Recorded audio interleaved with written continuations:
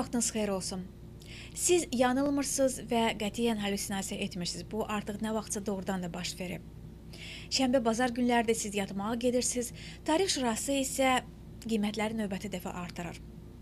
Doğrusu mən e, bunun nə üçün gecə saatlarında baş verdiyini bilmirəm. Bəlkə ona görə ki, ilk reaksiya daha şiddətli olur və kimsə şiddətli reaksiyanın məhz gecə saatlarında təsadüf etməsini istəyir. Lakin günün hansı saatına qəbul edilməsindən asılı olmayaraq bu məlumatın əhalini məyus etməməsi mümkün deyil.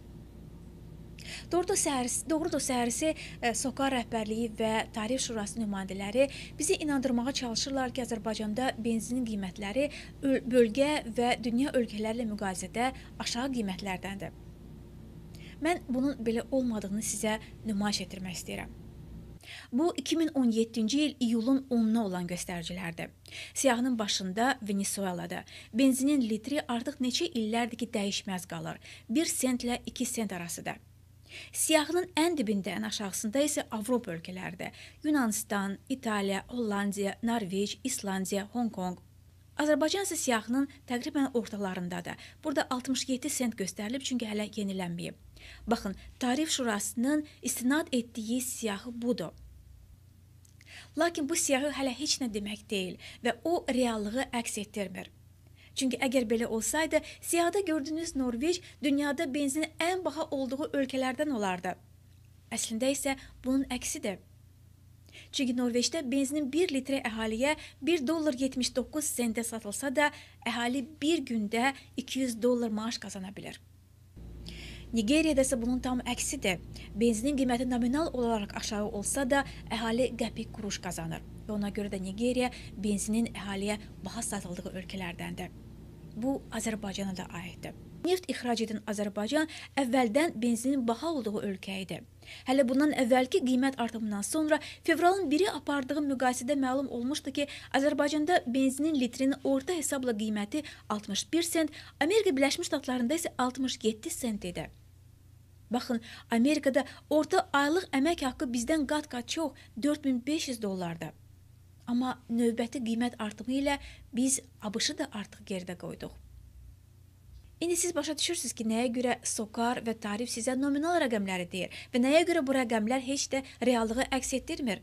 Çünki bu nominal rəqəmləri əhalinin alıcılıq qabiliyyəti ilə nisbətdə müqayisə etdikdə tamamilə fərqli bir mənzərə yaranır. Və bu mənzərədə Azərbaycan benzinin baha olduğu ölkədir. Benzin bizim işə, mənzil başına çata bilməyimizdir, istirahət edə bilməyimizdir. Əgər hərəkət etmək belə bahadırsa, yayın istisində əhali harda və necə istirahət etməlidir? Belə bir vəziyyətdə Azərbaycanda istehsal olunan ayı 92 benzininin onsuz da yüksək olan qiyməti 29% də artırıldı.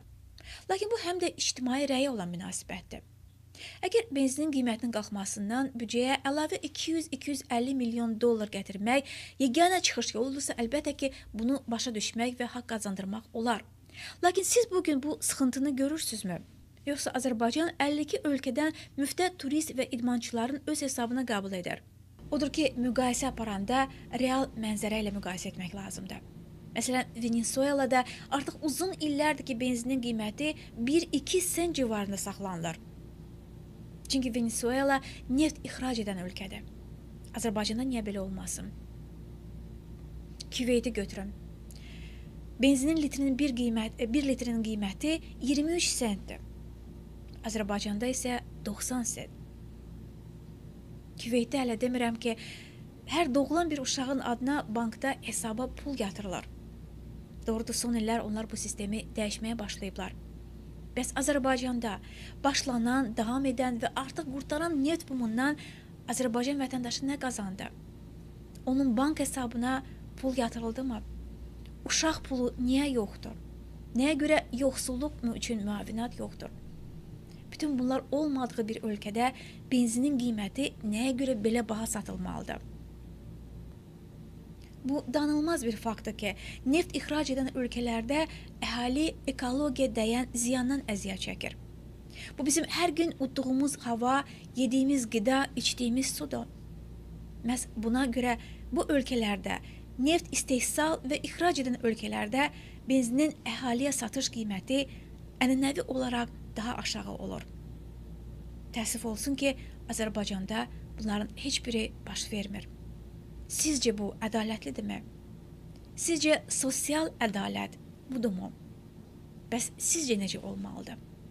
Fikrinizi bildirin. Sağ olun.